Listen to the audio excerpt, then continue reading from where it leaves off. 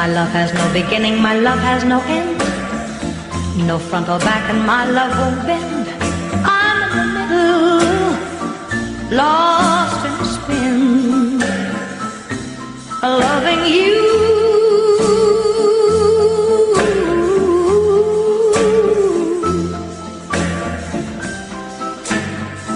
And you don't know, you don't know, you don't know, you don't know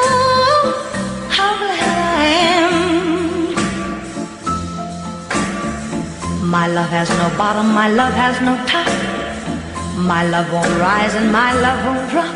I'm in the middle, and I can't stop loving you.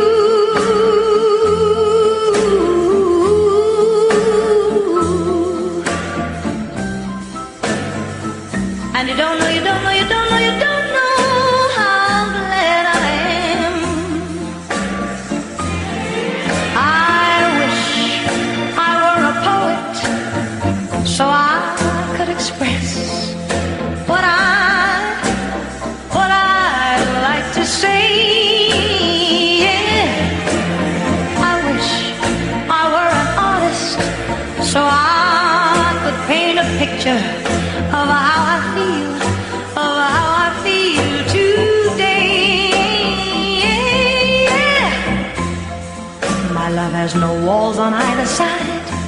That makes my love whiter than wine. I'm in the middle, and I can't hide loving you.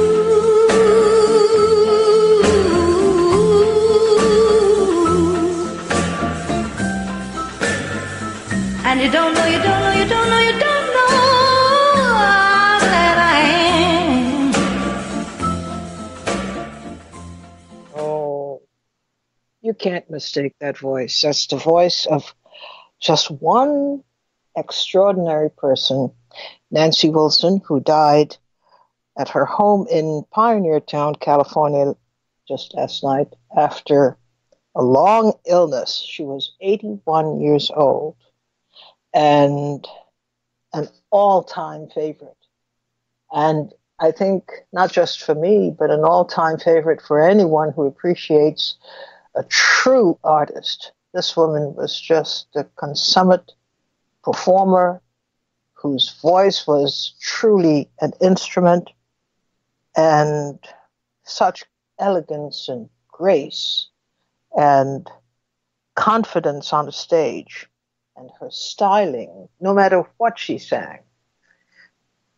She styled it so that you understood the meaning of what she was singing. Oh, it's a great loss. It's a great loss. But you know, the good side of it is that although she's gone, she's left ample evidence that she did her job and did it extraordinarily. No doubt about it. So we remember you today, Nancy Wilson, and thank you for all those years, those many years of superlative performances. This is Leid Stories. I'm Utrice Leid, and it's Free Your Mind Friday. This is where you get to take the conversation wherever you want to take it.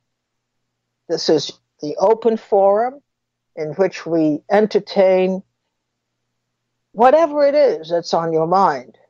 But let's let's see you go somewhere with your thoughts at 888-874-4888 and let's kind of, you know, uh, make an effort to put everything together so you don't have a long you know you don't, you don't take up a long amount of time uh, so other people can get in as well. 888-874-4888 what's on your mind? What are you freeing your mind of today?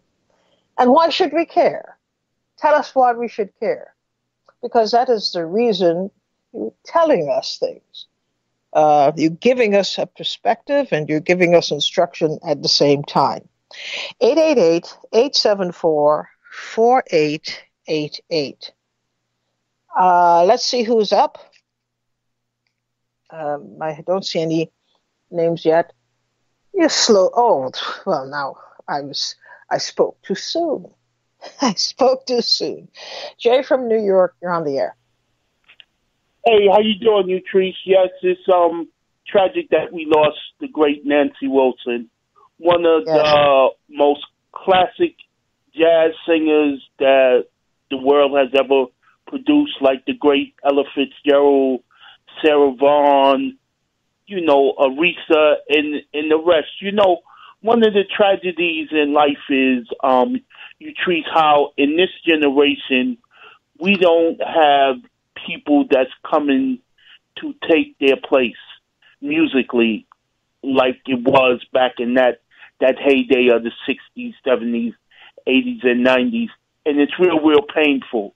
You know what I mean? Because I, I listened to a whole bunch of Aretha when she passed, man, and just the beauty of the Amazing Grace album and some of her her other albums, um, you know, it's it's it's just heartbreaking. You know what I mean? I mean, she she has a song Aretha um, that Bobby Womack did. I, I I forgot the name; it escapes me right now. But she sits down and she plays the piano on that song, and it's just amazing. It's it's it's it's just amazing. I I mean to hear her play the piano, the manner in which she plays on that on that song will absolutely blow it would blow you away. But but what I was really calling about you, Teresa, is you spoke earlier this week in regards to gentrification. Yes. And I live in Harlem. And I must honestly tell you, the rest of New York has really been hit with gentrification. But the one reason that Harlem hasn't been hit as badly with gentrification as the other communities have is because of the projects. If it wasn't for the projects in Harlem, Utrice, it would be totally gentrified. When I say totally gentrified, I really mean it. Totally gentrified. Because in Harlem, I don't even think there's 10% black own ownership of businesses in Harlem. Well, you and know, I'm, uh, and I'm being generous. Well, the, the facts suggest otherwise. The facts suggest that Harlem is pretty much spoken for at this point and not by the people uh, of Harlem. But yeah, but but what I'm trying to say to you, what I'm trying to say to you is, and I'll give you a perfect example. Across the street on 128th Street, 129th Street, there was a new development built up. And they just couldn't get the type of rent that they was asking for, and they couldn't get the residency in there in the manner in which they wanted. And there's other places like it. And the reason is because the amount of money that they're asking people to pay across the street from the projects, you know, I'm sorry to say, people are just not going for it. You know, well, and that's so why what, just, you know, they're coming in. Don't get me wrong. They're coming in, but believe me, they're not coming in on the level that one would expect. And I've lived in Harlem for 54 years. No, I have to differ with you there because uh, I've lived in the, I'm telling you, I've lived in the community. I have another, I have another list of uh, properties that have just recently uh, been uh, sold. We have properties under contract, and the people are not seeing these things. These things are yeah, hidden. but but Utrice what I'm trying to say to you is, yeah, it's not on the level to which you think because I can guarantee you, any property that you have as a listing, they're at least five to six blocks away from a project. I'm talking about yes, areas like That's Riverton, Lenox Terrace, and things, the Harlem, the Harlem projects and things of that nature. It's more or less happening on the east side in certain areas where there isn't projects, Utrice. That's what it's I'm trying to tell you. I, I, know this well. I'm trying to tell you. I'm trying to tell you, it's happening all over. I read a list. It was an exhaustive list, and it wasn't even complete. And it's not the only list. I have another one uh, about properties recently closed on, and it's it's outrageous what is happening in Harlem, and people do you, don't. Do you know the streets? Because if you could, because I'll give you, I'll, I'll tell you. It's but but what I'm saying is, let's not let's not argue over whether there's gentrification or not. I'm telling you, there is, and okay, it has nothing it's to not, do. Okay, I understand what you're trying to say, but what I'm saying to you, as a person who's lived in the community for 54 years, it's not on the level to where it's happening in Brooklyn and other places. From my observation, from someone that's in the community constantly, yes, I mean. I see you it are the community, but do you see the forms? Do you see the applications? Do you see the the meetings that are held uh, without community input? You're not seeing that. Do you Well, see well, the well, you know, one that of the are made most- with city one hall? of the most not seeing that. dangerous the dangerous things is community board ten. I've been I've been to their meetings and you would and it would blow your mind some of the things that go on. But most of our people in all honesty are not in tune to it. But I understand what you're saying, but you know, the bottom line is, you know, Charlie Rangel and the rest of them have played the integral part in the gentrification in Harlem that really But- hasn't benefited it, it people like myself, matter indigenous really African American. discuss. It does not matter at this point to discuss what Charlie Rangel did or did not do. The fact is, the point I'm making is Harlem is done. Do you understand? It's No. I understand that. I understand so that that's it's, that it's done in a sense, but it's not as done on the level that I think you think it is. I okay. Then That's where we dis- maybe- That's where we disagree then- with.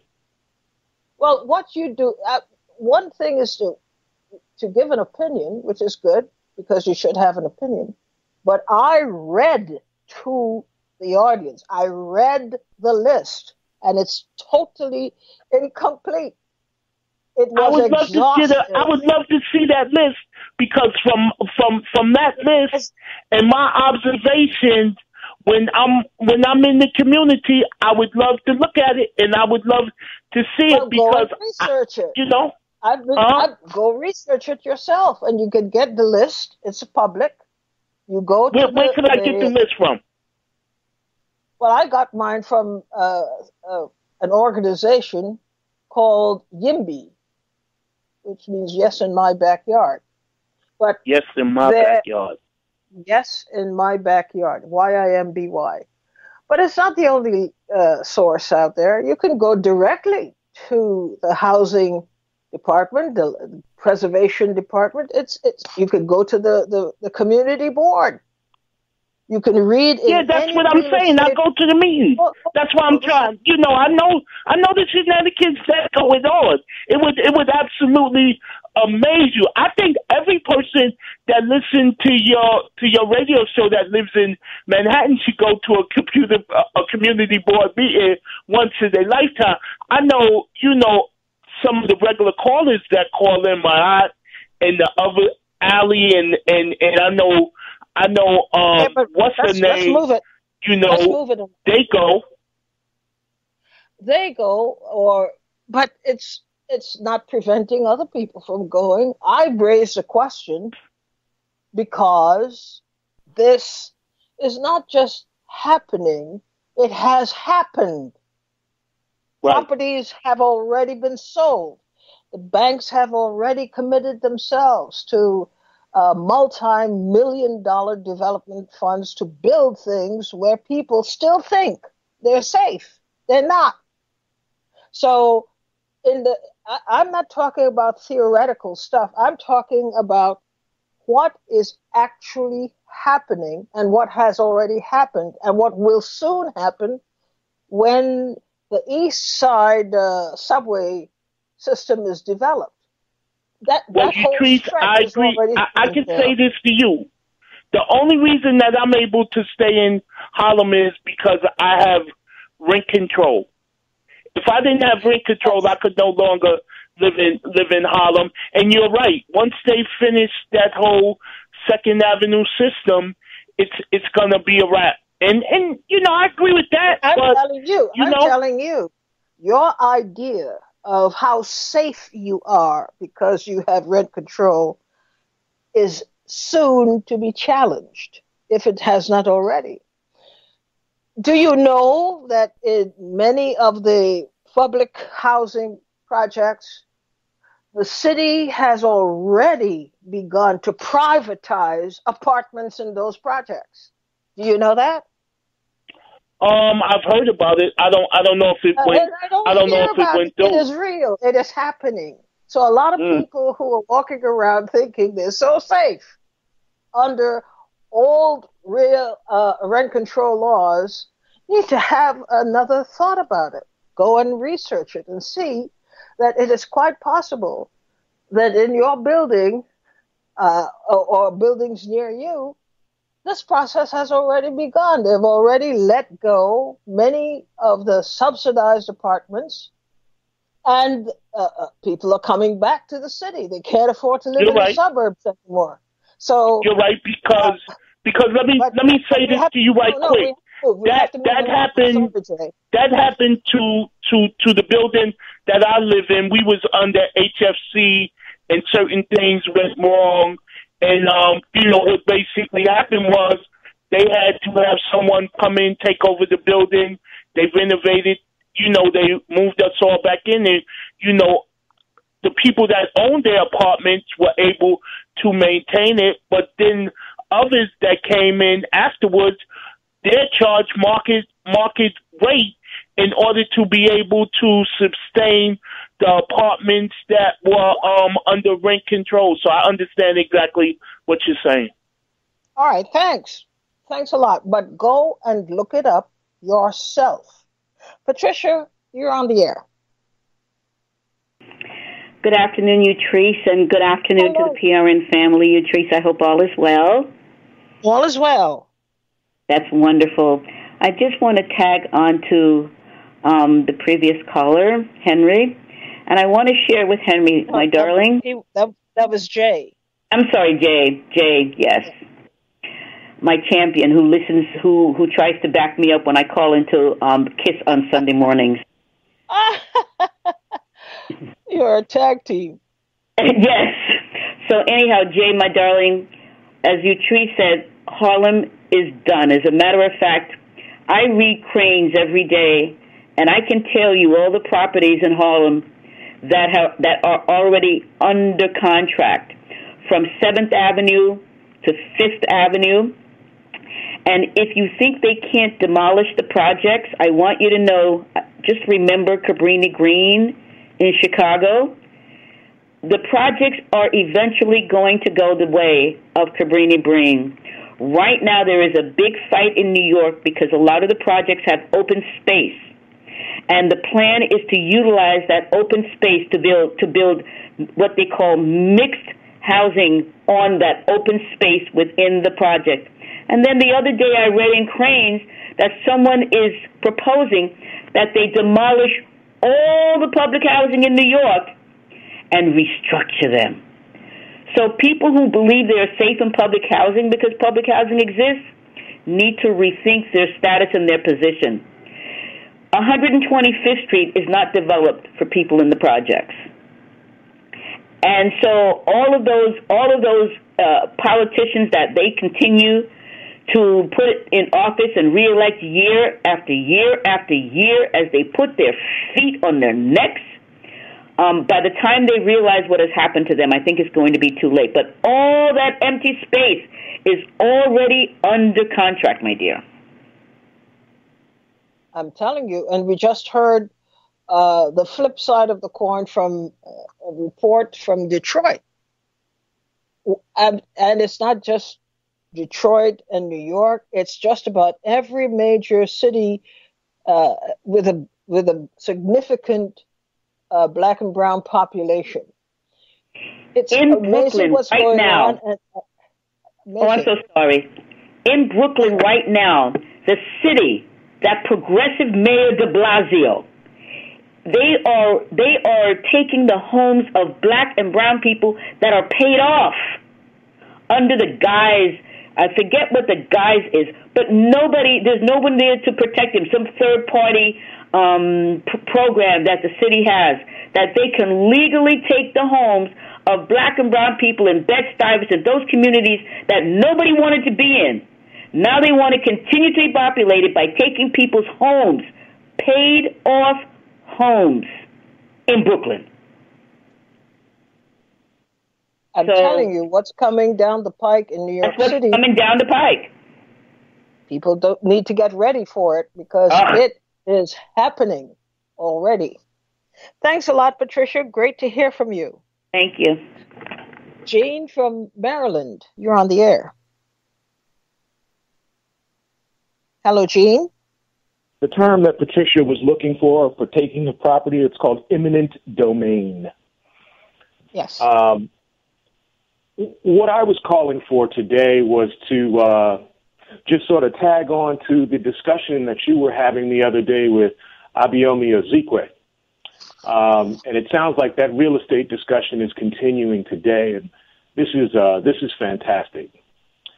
Um, it occurs to me that cities like Detroit and Chicago and others uh, in the Midwest are experiencing uh, the the kind of gentrification and uh, moving out of traditional peoples that are there uh, has a lot more to do with global warming than we think. And and if you'll allow me, I'll draw a straight line for you.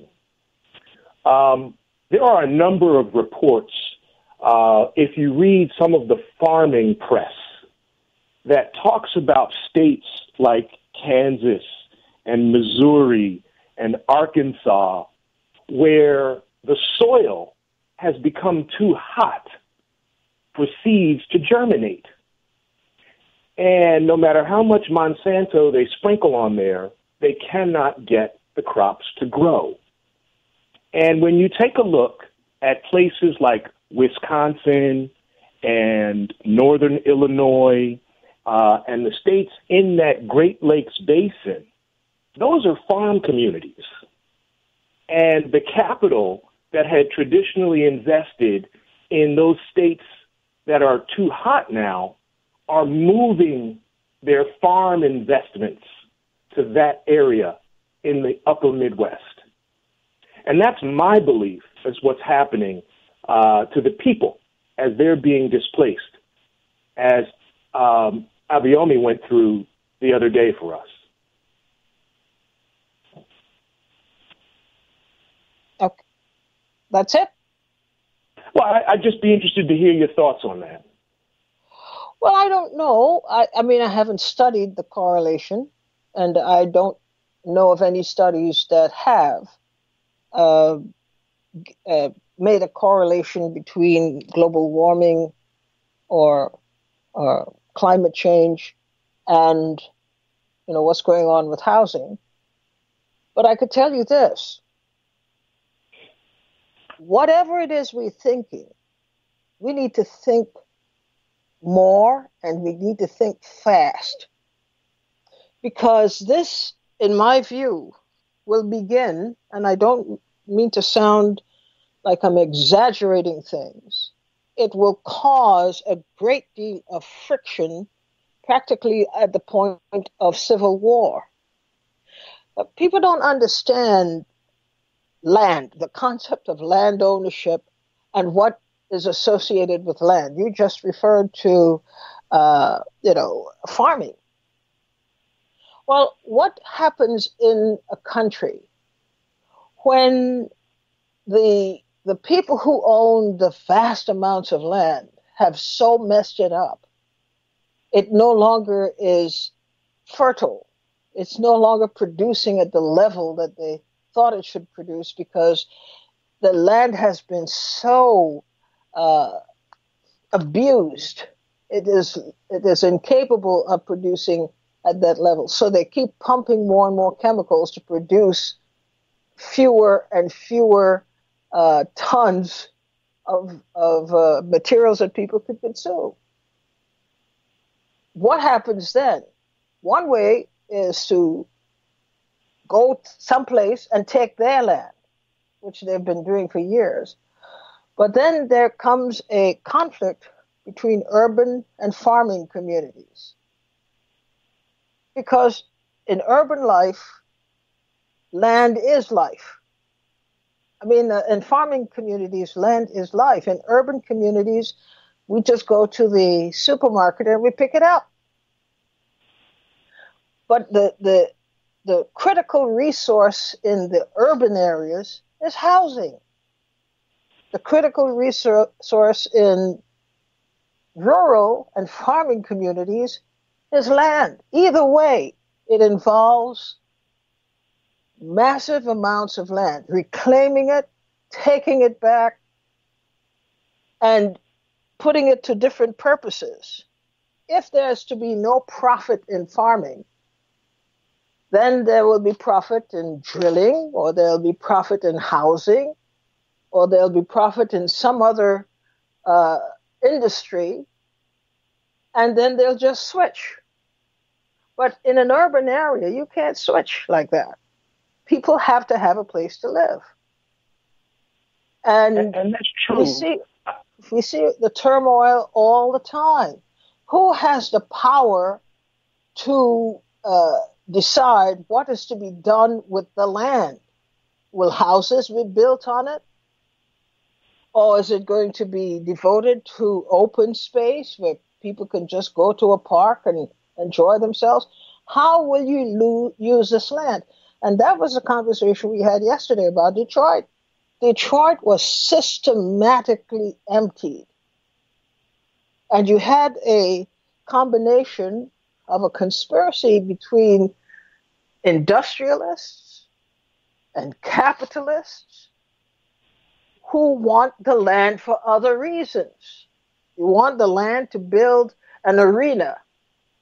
You want the land to uh, you want land to reinvent the auto industry. Well, it has to come from somewhere. So you empty the city. You empty the areas where you are interested in getting the land.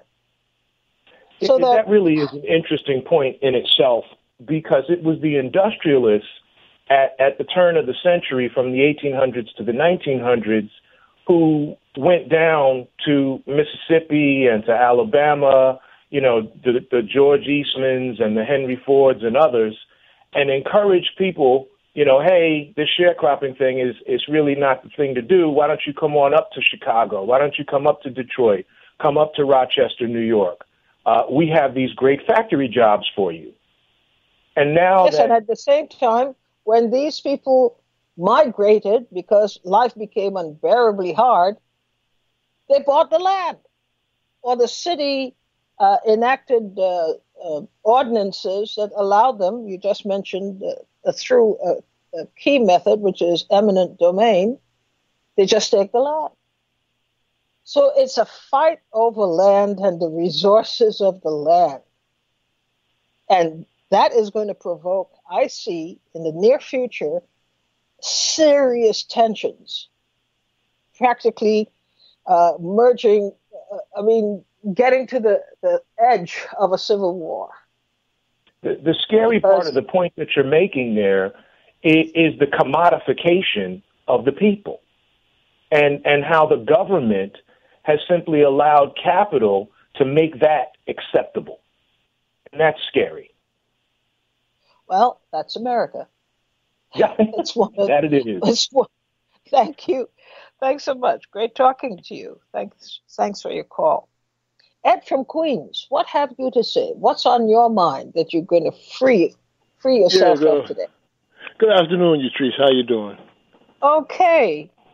Um, basically, uh, we, you were having this conversation before. I called in a couple of weeks ago um, with what's happening with gentrification around the city and major cities and and it's just it's an example of the calcification of wealth in this country and in the world in general. I mean, uh, capital is is in the control of a very small percentage of the population, and that capital is power, and they want to control it through the land, through through through through housing, through farming. What's happening in Africa, as far as how China is taking over very large tracts of land in Africa through negotiations and deals, to what's happening in what has happened in Harlem, what's happening out here in South Jamaica as far as public housing becoming a, a rarity and, and housing prices dropping and a lot of abandoned homes just sitting on the land doing nothing.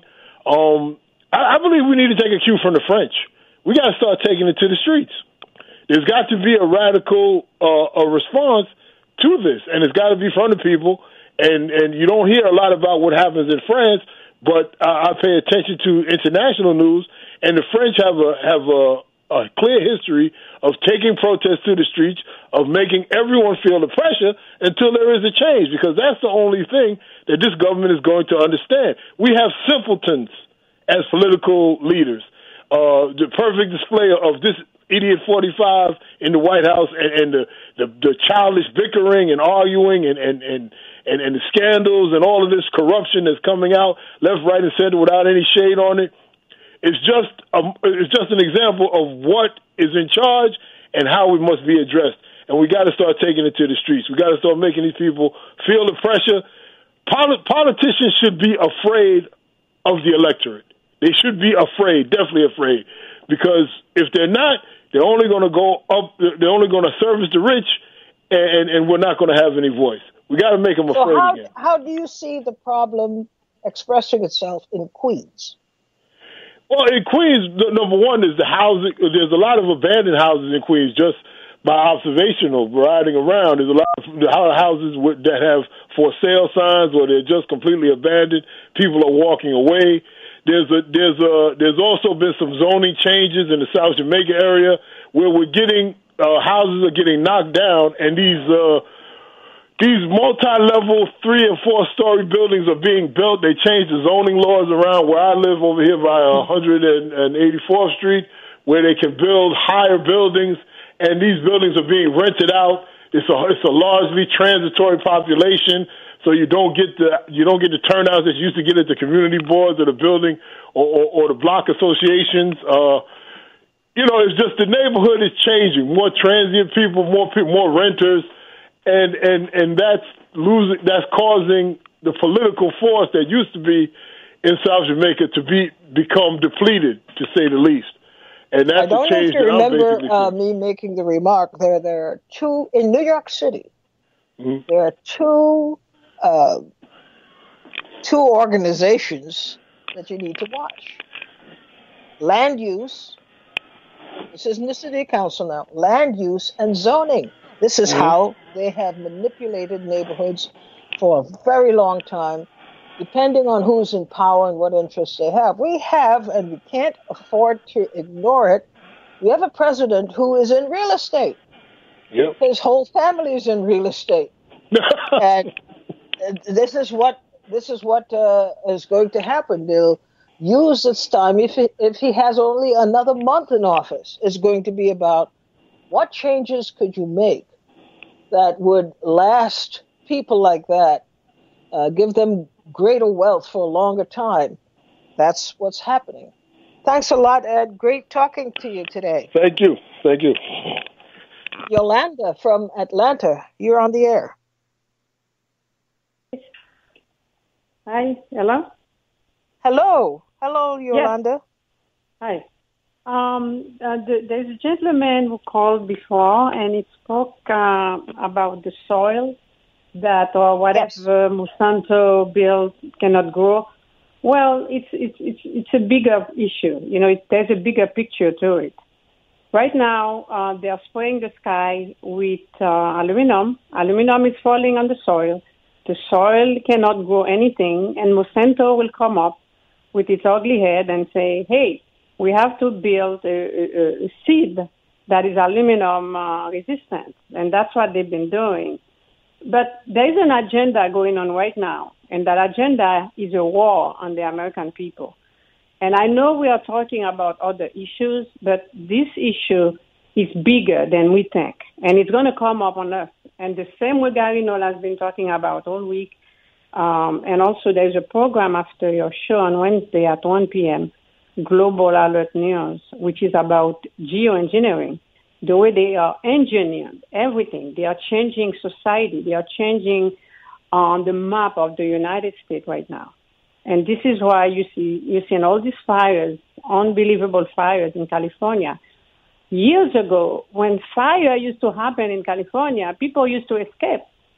And this time, 84 people died in, in, in a fire, which means these fires were direct energies. They use direct energies, and you can you can clearly see all these trees around all of these thousands of houses. The trees are green, and the houses are melted down. Even if there was a even if it was the tree that was responsible for the fires, the house would not have melted down the way they did. Some people die to the point where they cannot even recognize them. Whatever the chemical they use. And, and by the way, if you go on YouTube, you will see the captain of fire department in California. They were not afraid. They were having interviews, a lot of them saying, hey, we never seen anything like this before. And we have seen um, blue light coming from the sky at the time of these fires. And not too many people are talking about it. When you hear Amy Goodman talking about climate change. When people are calling your show, most people are saying climate change. But it's not, we passed that point already, Utrice. It's not climate change, it's climate engineering. I have been listening to it's very fascinating to me. The first time I heard about it was on WBAI about uh, 15 years ago. And I keep on follow up on it, follow up on it. And the information is mind boggling uh, for the amount of right now, if you go to geoengineeringwatch.org, which is the same show that is on uh, PRN on Wednesday at 1, you will see countless of facts of academia, uh, of CIA agent, of um, NASA scientists, ex-pilot, and all these people, people who used to be in the Air Force, retired, doctors talking about five-star generals, I, I, you know, acknowledge it is going on. Something very bad is going. They're using the weather against us right now. Right now, our water is being poisoned, our food is poisoned, um, the air is poisoned with chemicals. If you look at the sky, people need to stop looking at the cell phone and look at the sky. They've been spraying us like crazy. Since I've been looking for the past 15 years, there is X in the sky. There is uh, circle, there is octagon, there is everything you can imagine that's going on. That sky as a blanket every single day. And it's not only here, it's everywhere in the world, most of the places in the world. And when that guy called you and then you couldn't answer the question, you said you didn't have enough research. But you choose, guess what? The research is right after your show on Wednesday after 1 p.m. All the research are here that shows the war, Gary used to say that years ago. I used to take it lightly. He said they're going to rebuild, they're going to change the gentrification of Manhattan. We're going to have blue zone, yellow zone, green zone. There are certain areas that you cannot go through. This is why they they put fire in all these houses in California because they can't, they don't want people to live in private houses anymore. They're having that war in Brooklyn right now, taking a house away from people who paid off their house. They're using all kind of tricks because we don't have a government. We don't have Democrats. We don't have Republicans. None of them are fighting for us. They are there for themselves. It's a mafia system, and they put the CIA and the FBI out there to watch out for the good guys who is watching them. So until we see that bigger picture and start start talking about it, start supporting each other, start supporting that global alert news on, on Gariner Radio, which, you know, it covers everything that what's going on in the world. Look at what they destroyed Gaddafi, you know, which we, you know, Libya was probably the best country in the world. And they destroyed the country. They destroyed Syria. They destroyed Iraq. They destroyed Afghanistan. I mean, I mean, what else must they do to show us that we don't need to even vote anymore. We, our vote do not count, except if we're voting for whatever the Green Party, um, they have a better agenda. But um, that's all I have to say today, Utrice. But they well, messed up the soil. Thank you. Thank you so much for your call. Very enlightening. Thank you so much. You are. Uh, you put us on notice in so many ways. I hope we we took the hint. Uh, let's see, Henry from Chicago, you're on the air. Hey, Trees, how's it going? Okay. How's about you? Oh, it's okay. Um, want to uh, wish a uh, uh, happy weekend to you and all the uh, Sweet listeners and PRN audience. Um, Thank you.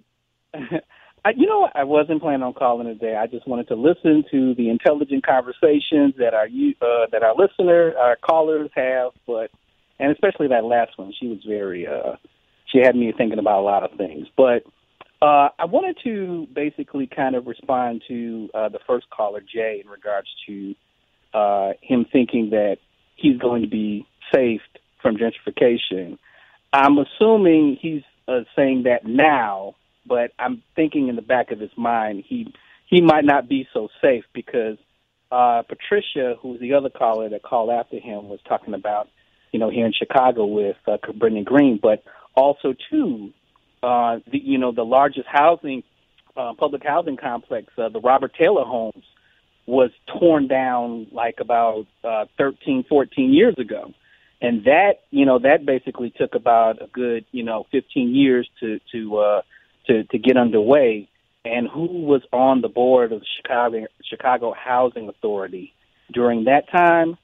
Our mayor, Mr. Rahm Emanuel, was on that board. So, uh, yeah, housing uh, gentrification. Uh, you know, just like uh, the topic you've been talking about all week, uh, uh, going fast and heavy here in Chicago. But you know, what's interesting here in Chicago is one of the fronts, there's many fronts of gentrification, but one of the fronts that have been on the news, uh, or, you know, something that they're having a little difficulty with is education. Now, there was a successful, you know, coup of education uh, about four years ago, uh, or five years ago when they closed the 50 schools, which, uh, basically kind of, uh, basically kind of, you know, signal, you know, the, the coming of a fast gentrification. But you know, in the last couple of years, there have been some minor victories. Uh, uh, one in particular, the Dyett High School.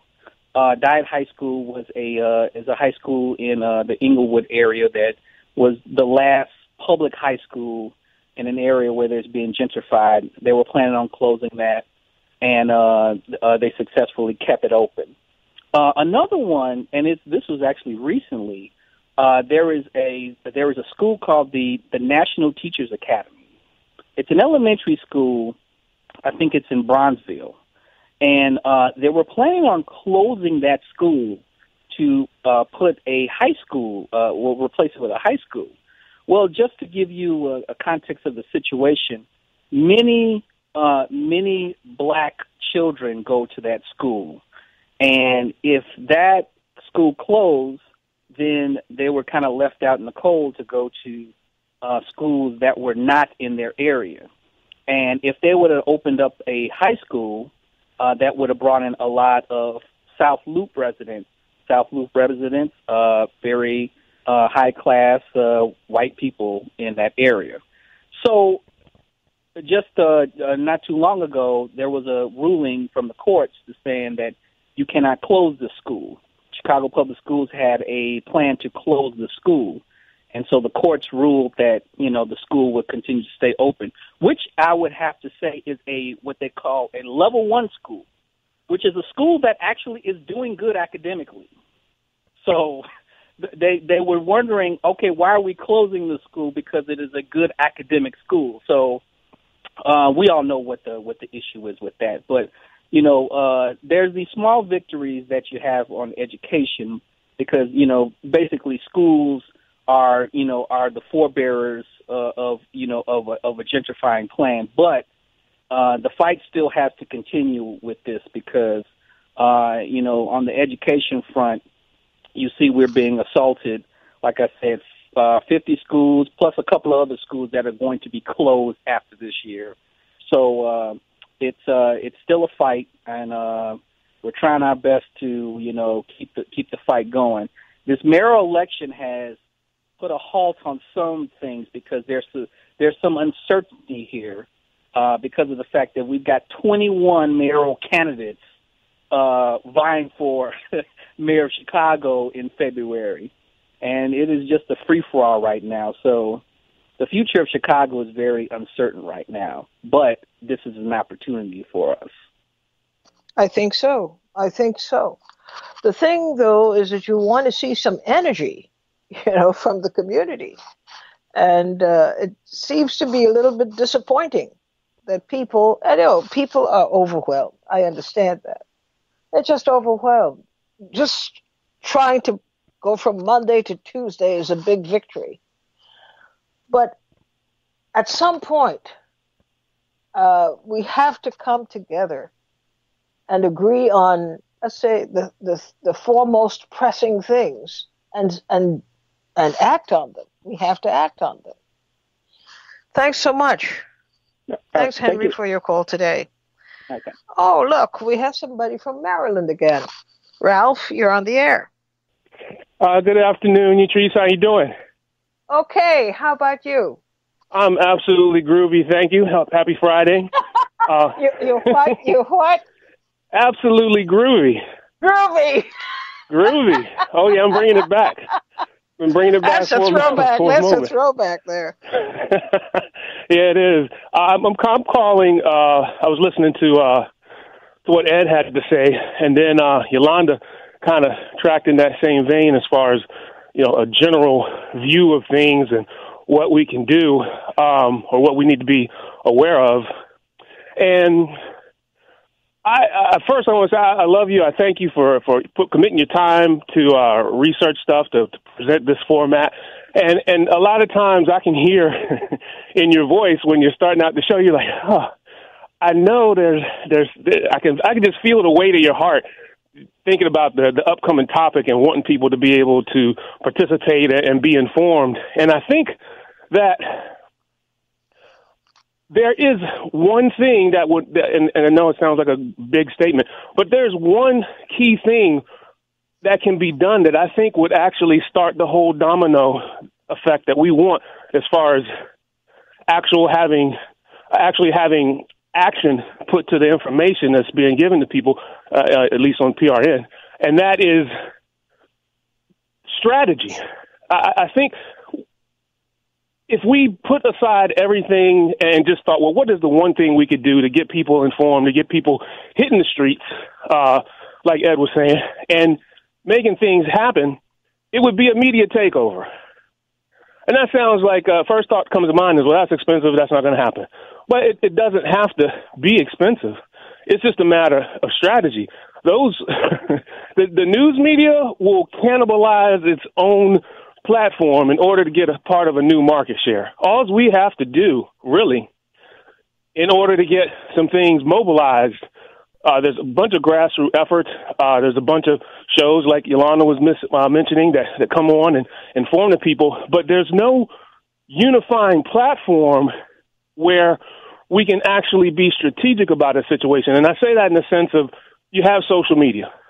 So something, some, some superficial, totally irrelevant stuff might come up on there, but because of the platform, it goes viral. And you've got people talking about absolute nonsense on a mass scale. And it's, it's terrible. It's, it's heartbreaking, but we can do that with an intelligent type of source, social media. And I, I don't mean just social media, but a, a, a, a whole platform in general, like a new major media.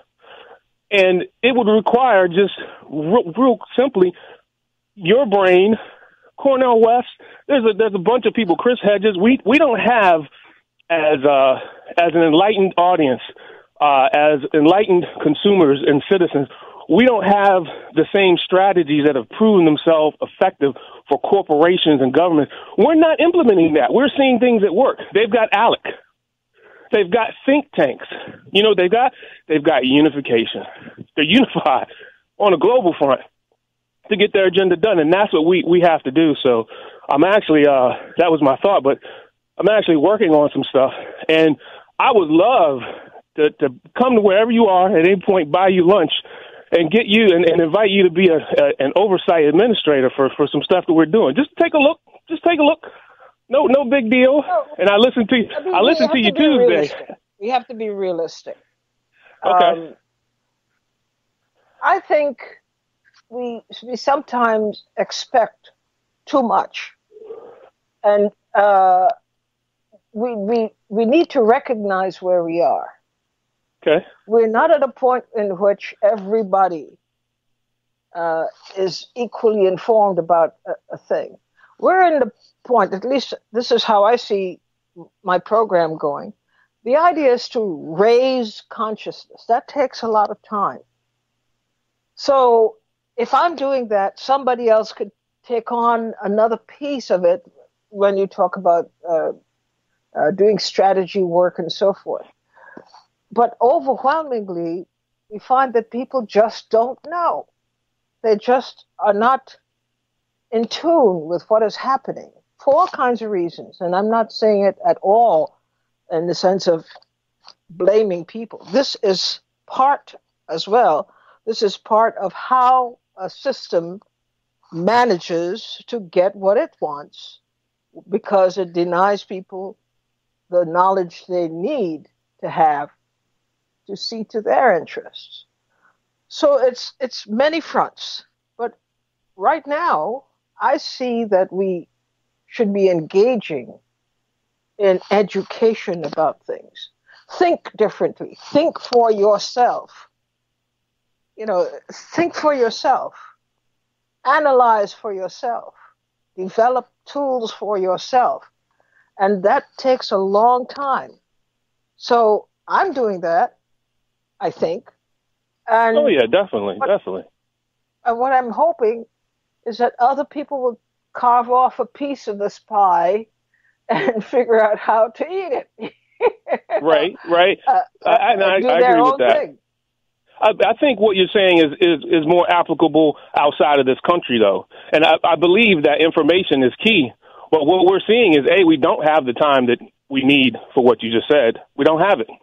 And then, two, people, people that are informed don't tend to act. In this country, you have to propel, you have to force, you have to put people in a situation where they feel some kind of obligation to act, whether it's through social pressure, uh, which is huge and it, and seems to be the most effective right now, or through some kind of pain. That the discomfort, like Gary said a couple times, the discomfort level that's going to take for people to start moving is, is terrible, and it might be too late at that point. But it's uh, it's it's. I think I think what you're doing, like you said, is totally necessary. I, I just I see strategically though that we could we could have the efforts exponentially moving forward with the right oversight.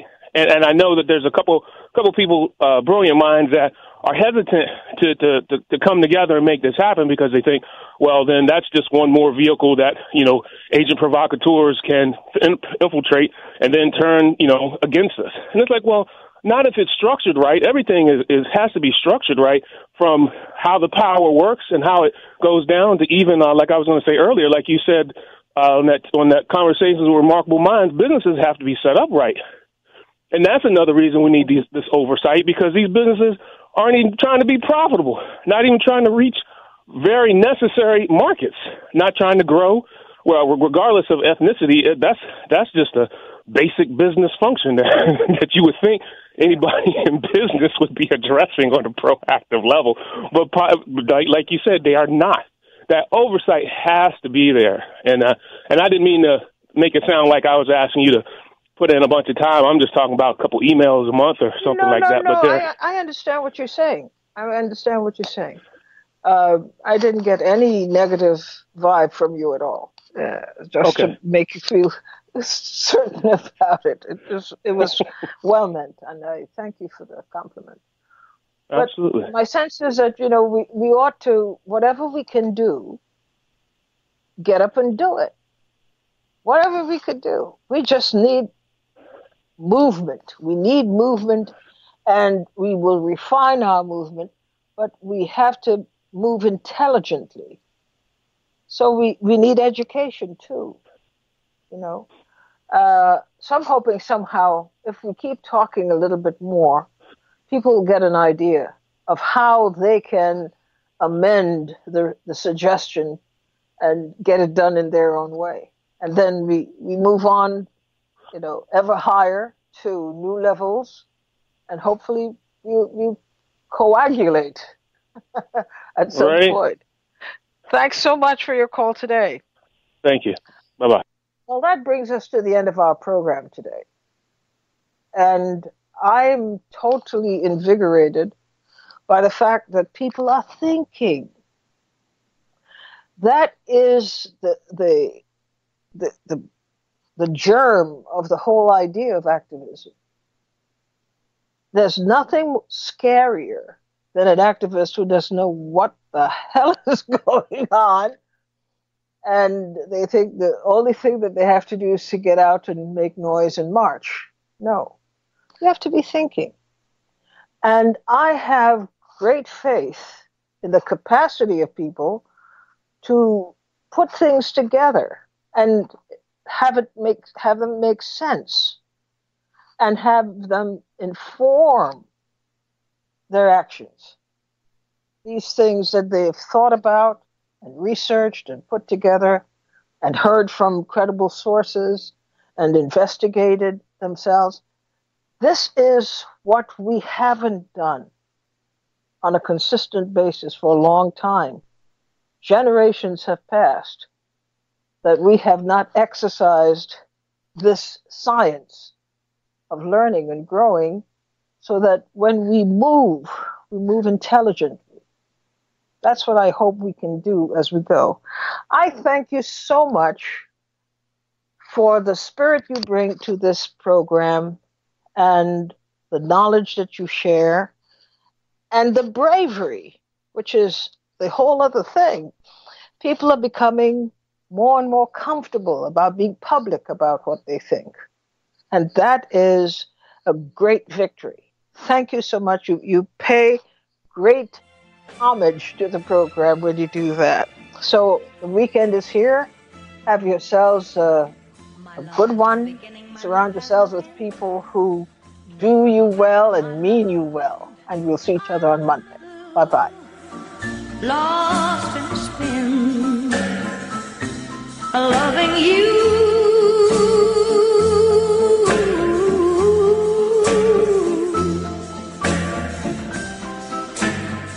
And you don't know, you don't know.